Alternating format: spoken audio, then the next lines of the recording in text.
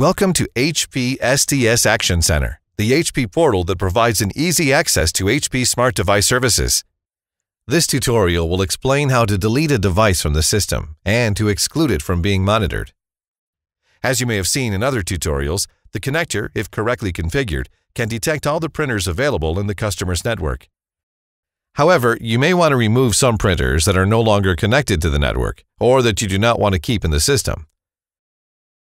By removing a device from the system, you will cancel everything related to it, so it will no longer be possible to manage any information related to this device. To remove a device from the system, in the left menu, click on Customers. Select the customer. You can search for it in the Quick Search field or scroll the description column. In the Customer page, always in the left menu, click on Devices. If the customer has many devices, you can search for the one to be deleted using the filters and clicking on Search. Select the device to be deleted by clicking on the relevant icon. On the Device page, click on the Edit button. On the Device Edit page, at the bottom right, click on the Delete button. To confirm the deletion, enter the serial number in the field and click on Yes. With this operation, all device data will be deleted from the system, and data collection on this device will be disabled.